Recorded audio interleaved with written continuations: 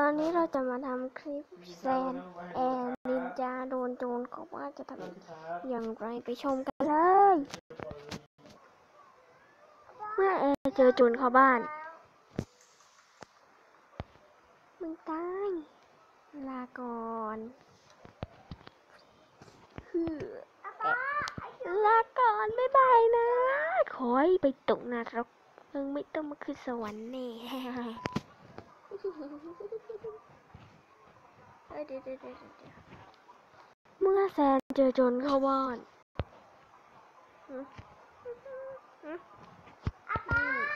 ตึ๊ดตึ๊ดตึ๊ดตึ๊ดตึ๊ดตึ๊ดมึงโตตึ๊ดตึ๊ดตึ๊ดตึ๊ดตึ๊ดตึ๊ดตึ๊ดตึ๊ดตึ๊ดตึ๊ด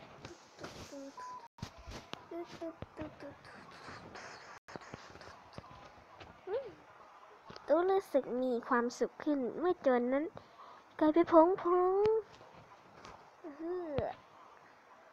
เมื่อเราเจอจูนโคบอน